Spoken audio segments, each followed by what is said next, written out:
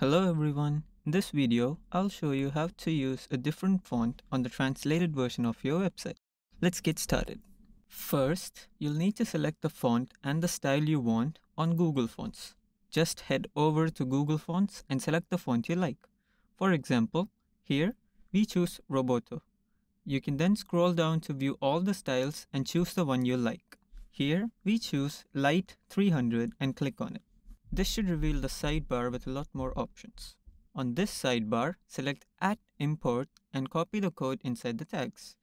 You can then head over to the Weglot dashboard, then settings, then language switcher, and then custom CSS, and you can paste the code here. Once this is done, let's move on to the second part.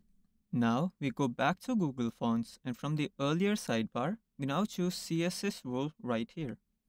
Then you can head on over to your Weglot dashboard, then settings, then language switcher, and then custom CSS and replace the code shown here with the one you copied earlier.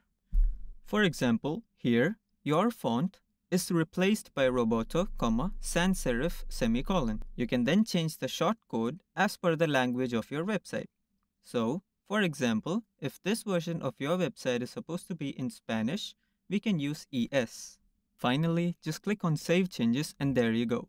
You have successfully changed the font on your website.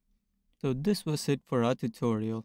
Don't hesitate to contact us at support at for more help. Until next time, goodbye.